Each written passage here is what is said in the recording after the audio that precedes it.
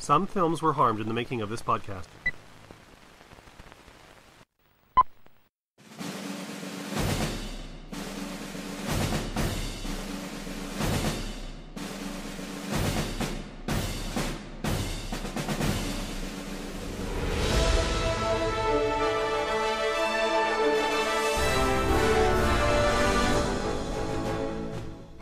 Troopers, and welcome to the third installment of our Starship Troopers 20th anniversary celebration, where we go through every Starship Troopers movie and possibly TV show. over the course of the four weeks of November. Now, the original Starship Troopers movie came out November 7th, 1997. That's where we started. Right now, we are on Starship Troopers 3 Marauder. aka Jesus Christ Superbug.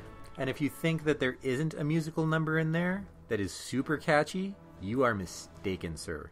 Just before we get into the discussion about Marauder, uh, I wanted to address something that I forgot to mention last time when we were talking about Hero of the Federation that I think is just kind of worth mentioning and and actually does sort of color that movie a little bit. It, it changed it changed things well maybe not dramatically, but the character of Dax, played by Richard Burgi, which Dustin and I both profess to like this character very much. He was originally meant to be Clancy Brown's drill instructor Zim from Paul Verhoeven's Starship Troopers. He was actually planning to come back. They had done talks about having Zim come back, and then uh, Clancy got the Carnival gig uh, with HBO and was like, "Sorry guys, I, I have to bow out."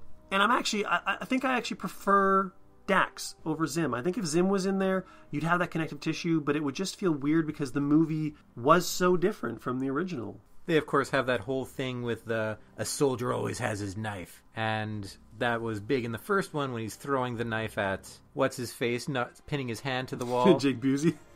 Jake Busey. And uh, knives are important in Starship Troopers. Always carry your knife, even if the bug could destroy you in hand to hand combat. So, anyways, I just thought that was uh, man. We should have prefaced that with a "Would you like to know more?" but I thought that was an interesting thing uh, just to kind of throw in. It kind of bugged me after we finished recording as I was editing it together. I was like, "Damn, I really wanted to talk about the Dax Zim thing, and it just didn't happen." But now it's done, and I just feel empty inside. As well, you should. Only because you referred to how it bugged you, and puns are terrible. That wasn't even planned. That was I apologize for Mike's behavior. So let's roll the credits on this movie. Starship Troopers 3 Marauder was directed by Edward Neumeier. It was produced by David Lancaster. It was written by Neumeier and starred Casper Van Dien, Jolene Blalock, Stephen Hogan, Amanda Donohoe, Marnette Patterson, and Boris Kodjoe. Music was by Klaus Badelt. Cinematography was by Lorenzo Senatore. It was edited by Michael Bateman. Distributed by Stage 6 Films. And it was released July 19th, 2008 in Japan and August 5th, 2008 in the United States. Now, Marauder is again another departure. We had Hero of the Federation, which, which was a departure from the original, and now Marauder kind of goes in another direction yet again. What did you think of that direction, Dustin? I think that direction definitely, well, it, it sort of pulls away from action like the uh, first one was, It really does, yeah. but it really gets heavy on the satire. It it's a lot more character driven and a lot more plot intensive, and it really develops the Starship Troopers storyline and mythos in a way that I I really did enjoy.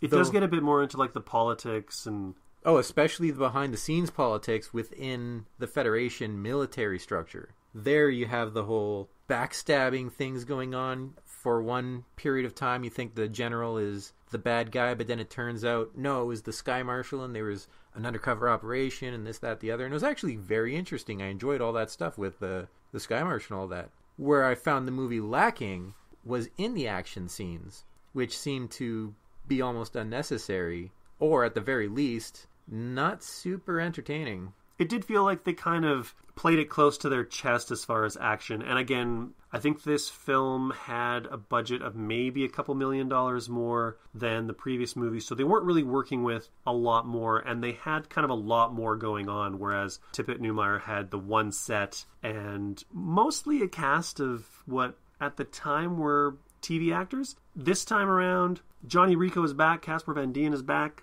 And he is a parody of himself at this point. Oh come on! I I like Johnny in this movie actually. I'm not saying it's a bad thing. I when I first heard that Rico was coming back, I thought, oh man, they're cashing in, or or the last one did poorly, and now they need to bring back that brand recognition. But I liked where Rico was, the, the, the place in his world that he is in Marauder. He basically became his old lieutenant.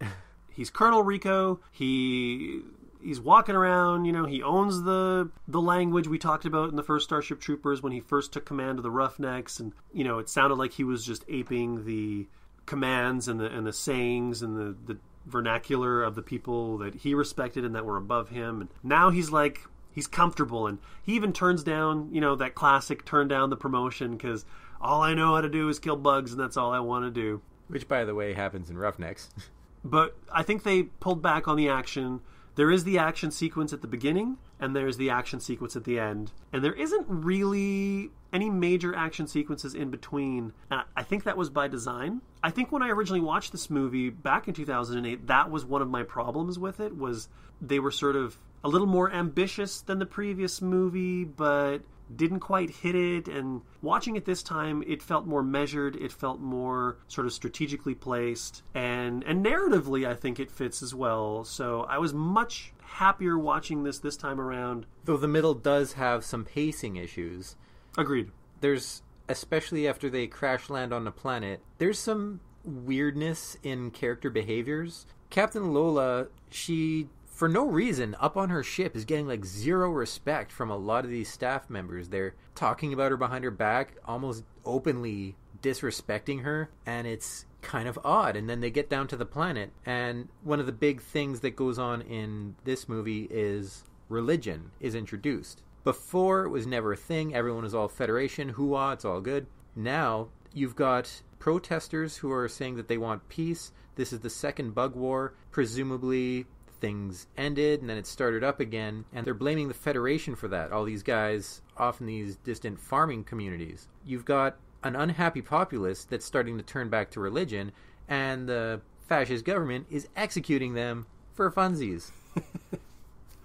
I think this is probably a good place to set that up. Basically, after Hero of the Federation, I think there's an unspecified amount of time, maybe five years. But the first bug war, it, it peters out. There's no real explanation for it. That's something that they, they didn't explore within the films uh, that I'm aware of yet.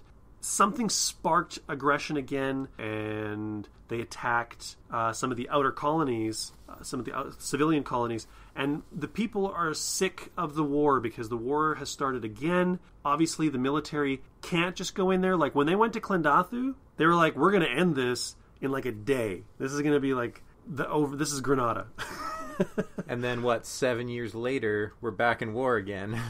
and so there's discontent and and people you know the the federation the state was the religion people had no reason to believe in anything but the state because the state was everything and now the cracks in the state are being seen and there is this groundswell this uh, grassroots movement who are rediscovering god and that plays into mostly the second half of the film in a really great way And another thing that was set up early on, and I called like super fast. The entire, like everything point by point, you could see right away during that first invasion in Rokusan. You could see Rico is all hooah, fine and dandy. His buddy, who is in uh, special ops, that would be general dix he was super strict. Everything by the numbers, by the book. You could tell just by how gung ho he was on suppressing these farmers who showed any sort of disrespect towards the Federation that he's going to be the character who learns something secret going on high up and starts questioning the Federation. And I called that pretty much right off the huff. you also called the sky marshal And I called the Sky Marshal.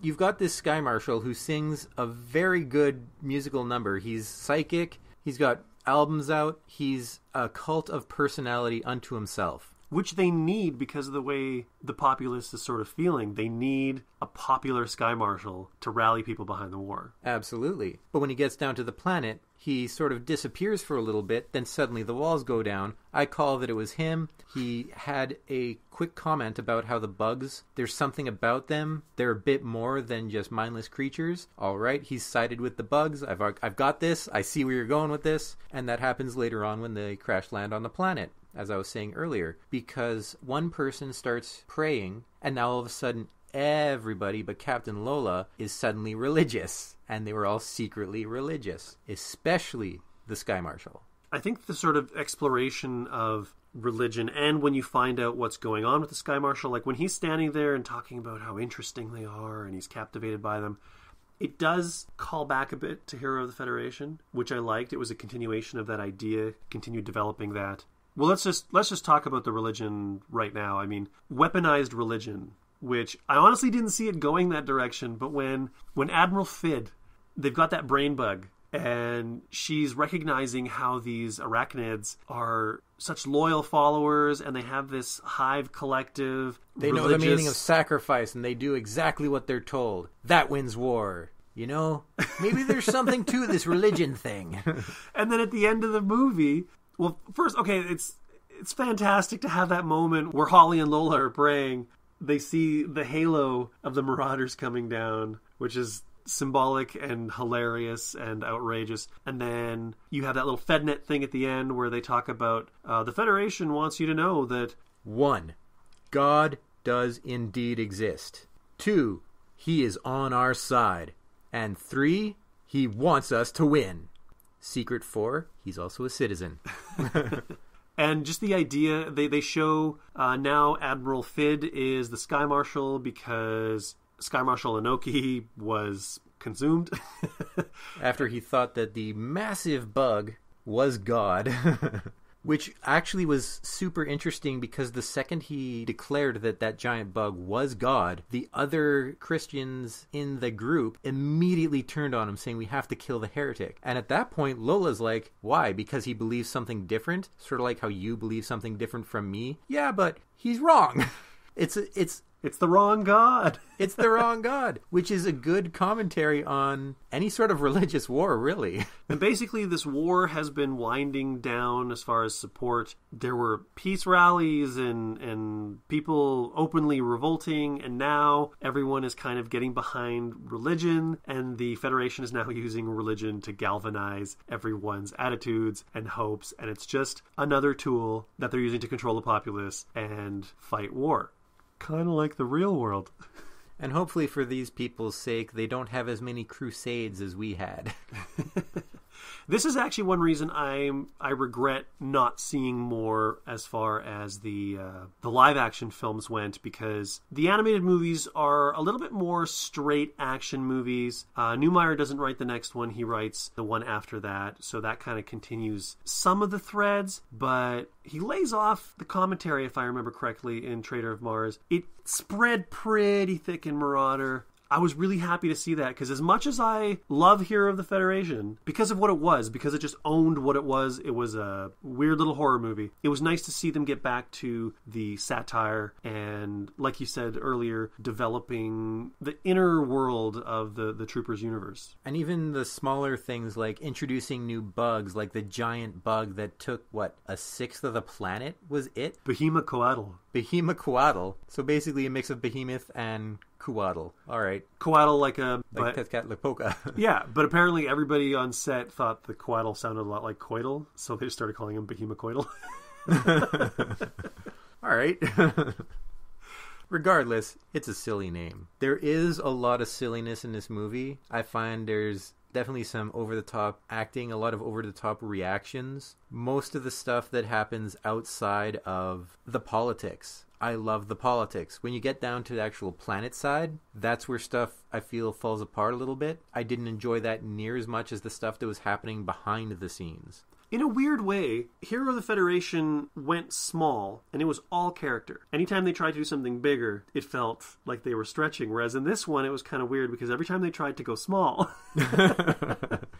they didn't quite hit the nail on the head as much as you would have liked it to. But as soon as they started focusing on kind of the bigger picture in the in the Troopers universe, I would like feel we that lo- the acting was better. I would feel that the action was better. Just everything seemed to work nicer in my mind. I completely agree. I mean, Neumeier essentially co-directed Hero of the Federation. Phil Tippett said in the commentary for that movie that there was like so little time and so much to do that Neumeier took on part of that responsibility. And when it came around to do another Troopers film, Neumeier was kind of in line to direct. And I mean, he's not a great director, but he knows the material. And I thought he told the story as best he could with the budget that he could and the crew and the actors. They shot this in South Africa, I believe. That's possibly why the character bits were maybe a little lacking because that's where you're trying to draw more from the actors. And now, if you're not a great director, either the actor has it or they don't have it. If you're a great director, you can draw those performances out of your actors. And So- you might be able to recognize what stuff will look like after you've edited and all that. And they could have also just been struggling with time. It could have just been, we have 20 minutes to do this. You get one take, and don't forget your lines. Ham it up a bit, because that's how Starship Troopers works. And that was part of my greatest fear with this movie too, because the promise of this movie was the Marauders, was bringing in, you know, the mobile infantry mech suits. They do bring them in. they do come 10, in later. 15 minutes to towards the end of the movie. They have nothing to do with anything. They're the except for a Deus Ex battle. Machina. They're Yeah, they basically they, come in. They're the cavalry. You know, narratively it's okay. I think maybe they were hoping that if this sets up like another movie that will have more Marauders. But the CG was kind of the best they could do at the time, which wasn't amazing, but it wasn't terrible. The one terrible CG thing, though, at the very beginning, they had a FedNet clip where they shot a bug. That bug looked terrible. I can't believe how bad that bug looked. None of the other bugs looked that bad. Just this one. It looked like something I did on a weekend on a whim. It was just terrible. I did feel that the bugs in this movie generally looked worse than the bugs in Hero of the Federation.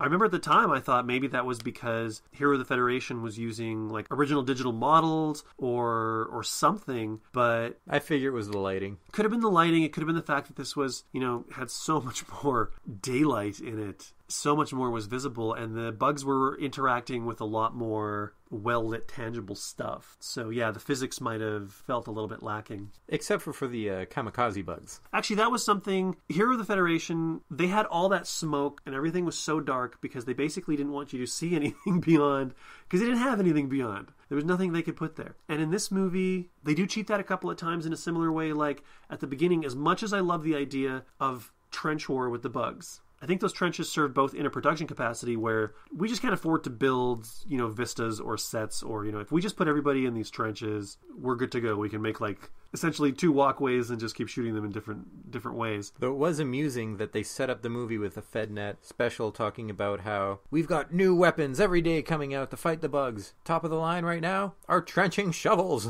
which that- we have nowadays. We've had them for 60 years. trench warfare was not something that they had really done. Neumeier wanted to sort of harken back to that, and to introduce that, he created the Scorpion plasma bug. That was the essential analog to the introduction of the machine gun. So, in order to get away from these plasma bugs, they had to get underground. So, I mean, that was just that was promotional. But I mean, you have that, and then you see immediately it cuts to a guy, just some random trooper, who's now got to start digging a trench. That's how the movie starts, where you start with the here's all the glory, and it cuts immediately to you're digging a hole on some bug planet, hoping not to blow up. Welcome to World War One. And while we're talking about weapons, the guns, I believe this is the Morita Mark III. I loved the guns in the second movie, but I was very distracted by the lighting effect that they used to give the illusion of firing. Because in the original Starship Troopers, there were spent casings flying out, there was muzzle flares. We didn't have those in 2 because I think they said the budget for bullets, just bullets on Starship Troopers was like a half a million dollars or a million dollars which they were like, we have better ways to spend that money. So they clearly decided to go back to that with Marauder. And, you know, mad props to them for doing that because I loved seeing the muzzle flares and hearing that sound and seeing those casings. But the production designer wanted to go with, there was a version of Morita that they show at the end of the original Starship Troopers. And he's like, I want to take that gun and I want to go big. And those guns were so ridiculous. I mean, did you see the way Jolene Blalock was holding it? Like, it looked bigger than her torso. It's like Rambo holding up the M4 from the back of a truck, the truck mounted gun, just like, okay, this will do. So I had kind of mixed feelings there. It was just joyous to kind of hear those Moritas firing again, but they just look so weird doing it. But I mean, it does technically fit with that whole hyperbolic goofball, you know. And to be fair, like even the bullets from that beast aren't going through most of these bugs. You got to hit them in the nerve cluster, or nothing's going to work. It seems. Well, it takes a lot longer, and by that time, they've split you in half. And just like we gave a shout out to the music in Hero of the Federation, I wanted to give a shout out to the fact that they're using Klaus Badelt on this movie. Klaus has done a lot of things, and he apparently came in to do this. He was definitely working like under his pay grade. and I thought he put together a really solid Starship Troopers style score. And whereas Hero of the Federation was going for more of like a Bernard Herrmann kind of classic thriller suspense score, this was more of the straight up action, a little Lawrence of Arabia, you know, walking across the dunes kind of space mystery sort of music. And it's really something that throughout the whole franchise so far, the music seems to be the most sort of consistently good. So I'm just trying to think if there's anything else that we haven't covered that we maybe should. I think it's a good time to wrap up. I don't. I can't think of anything else. We haven't mentioned the the naked scene. I'm always pleased when you have a naked scene with both men and women to see a bit of dong. It was shaded, sure, and they had the very nice joke with uh, the guy taking off his underwear afterwards. Don't if everyone's getting naked, take off your underwear now, otherwise they're going to say your dick is small. That is the rule. It's going to happen. It did feel very much like a callback to the original movie. We had nudity in Hero of the Federation, but that was playing more with the horror tropes. And even though it was narratively specific and appropriate, it was conspicuously just female nudity. Although there was the dudes in their underwear that got overtaken by the bugs in that room. And one of them was actually supposed to be naked, but they made them not make them naked for some reason. I like to see equal nudity. I just I just think it's fair. We talk about nudity a lot on this show, man. I wasn't going to bring it up. it's kind of a it's kind of a Starship Troopers staple though, and I actually I like the fact that because they go into that scanning machine before they go into the Marauders. Ed Neumeier said that the original idea was when the Marauder comes up in front of Holly and Lola, that you know the back would open and Johnny would emerge naked. That would have been awesome. I would have loved that. I would have thought that, that that sounded like the best idea because especially if he had like a halo to make it sort of a Jesus reference. Exactly, because his his coming to save them was very much done in a you know hand of God, angels from on high kind of thing. And then of course when he Just reaches his out, dick flapping in the wind. when he reaches out to Lola and then she reaches to him, that's totally like Michelangelo's. oh yeah. Yeah. So that's uh that's a little Starship Troopers trivia for you there. so I think I think nudity is the last thing that we can really chat about here. So let's move on to summaries. Dustin, do you want to go first? I always want to go first. Rarely, sometimes, maybe never. But the movie itself, as I've said, it really advances the story going on in the Starship Troopers universe, and that I adore. If you are into Starship Troopers and the stuff that's going on, I definitely say it's worth checking out. Don't expect Starship Troopers 1. I think that's the important thing in going to any of these other movies don't expect the first Starship Troopers, and you can come out enjoying it, knowing that it's going to be cheesy at points and knowing that it's not going to have the same budget. I completely agree. Uh, as I said, when I first saw this movie in 08, I really disliked it. and I revisited it a couple times, and I still disliked it. And watching it this time in context with the other two movies and, and being able to sort of see the progression, accepting the movies for being their own sort of entity and different, and appreciating what they're trying to do, I'm a lot happier with Marauder. Uh, I, I still don't like it quite as much as Hero of the Federation. I made the comparison uh, in the last episode that if Starship Troopers was the Star Wars of the franchise, I felt Hero of the Federation was the Empire Strikes Back of the franchise for being darker and more character oriented and taking everybody to kind of a bleak place. And I thought Marauder might play up to be Return of the Jedi, which I can honestly say I think it did because it rehashed some of the things that you had in the first movie. There was a brain bug. There was Johnny Rico, the hero of Planet P. It introduced a few new things. It increased the scale. The effects weren't as great. but it was a nice kind of finish to this first trilogy. While definitely not the superior Starship Troopers film, I would definitely place this as a strong third, although I am expecting Traitor of Mars to knock it out. we shall see how that goes, sir. He's handsome. He's psychic. Duty. Honor. Eagle high. He's General Omar Anoke, Sky Marshal everyone loves. And gives us strength to go and win this war. And at last night's war rally, he thrilled audiences all across the Federation with a pounding rendition of his latest hit, A Good Day to Die. Fight for what is right. A noble sacrifice. When duty calls, you pay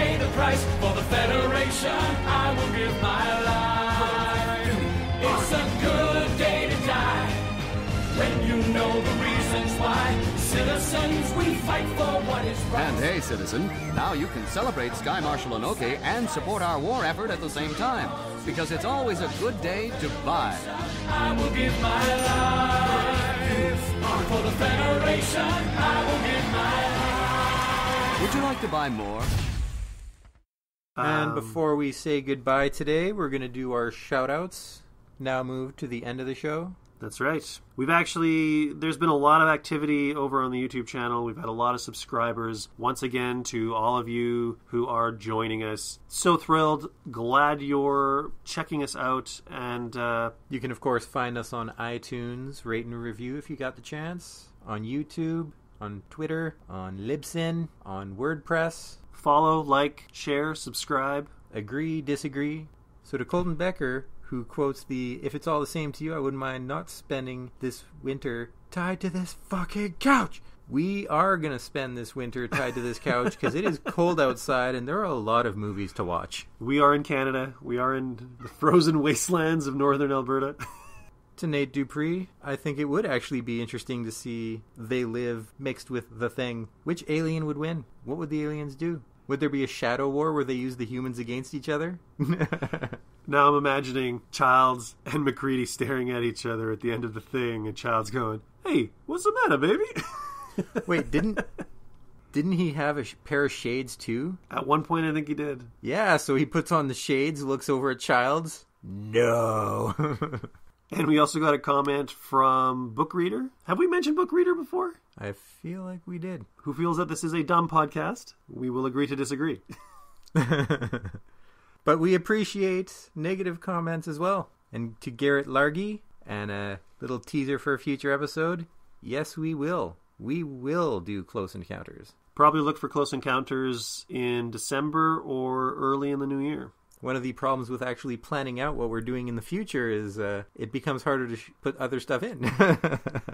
Donaldos Mister uh, comments that in regards to our "Let the Right One In, Let Me In" episode, uh, we should do a comparison of the Danish movie uh, Nattevagten and the American remake Night Watch. I've actually seen Night Watch with Ewan McGregor. Uh, both of them were made by Ole Bornedal. I'd be curious to see the original, and perhaps they're not really horror movies, so they don't fit into that Halloween sort of mold. But who knows? We might do a foreign American comparison again at some point. I certainly don't see any reason why we couldn't. That And I'm happy you managed to find us, Kami. who commented on our necromantic episode and also believe we deserve more recognition than we get. We'll get there. I feel like Rodney Dangerfield. I get no respect. Ron Jeremy commented on the Thing episode. Uh, this movie is a god among kings. You'll get no argument from Dustin or me. You will, however, get us to wonder if that's the actual Ron Jeremy. And thanks, Roni Kessler, for the comment on our podcast. I do think it is great as well. We think you're pretty great too. Aw. And Trolls the King commented on our To Kill a Mockingbird episode. I think this is the first To Kill a Mockingbird comment we've gotten. Enjoyed the analysis.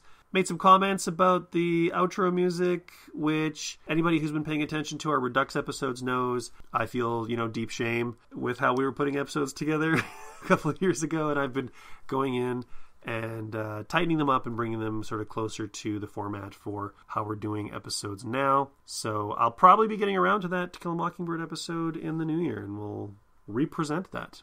And lastly, Rick Mills commented on our Starship Troopers 2 episode from uh, a couple days ago, and he said that he thought that Phil Tippett's the only person on Earth who actually likes that movie, which I would have to disagree with because we liked that movie. so we stand in solidarity with Phil and, And Ed, also, I'll have you know, my farts smell amazing. which just flies in the face of me about to say uh, who likes the smell of their farts. So, Everyone likes the smell of my farts. And for anyone who has no idea what we're talking about, this is relevant to the comment. so that's the shoutouts for this week. Be sure to check us out on the social media. Talk to us. Let us know what's going on, and you too can have a shout out on a future episode of the show. And we hope to see you next time when we will be looking at Starship Troopers Invasion. The first fully animated Starship Troopers film. But not the last. So thanks again for joining us. We'll see you next week. I've been Dustin. And I've been Mike. Take care. And remember Come on, you apes! You want to live forever? A noble sacrifice. When duty calls, you pay the price. For the Federation, I will give my life. Well, all is fair in love and war. That's what my gunny says. You're not alive unless you're almost